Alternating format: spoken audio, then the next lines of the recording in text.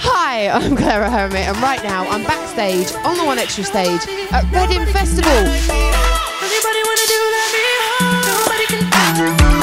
Are you good in bed? Yeah.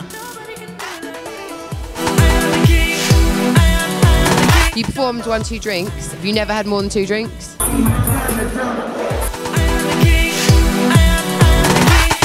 If you could be in bed with anyone right now, who'd it be? Pharrell. But I would be making music with him in bed. Okay. Sweet, sweet music.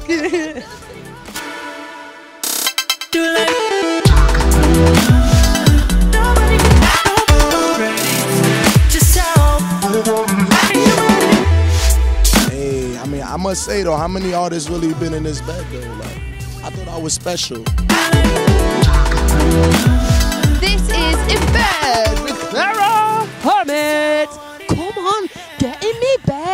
Welt.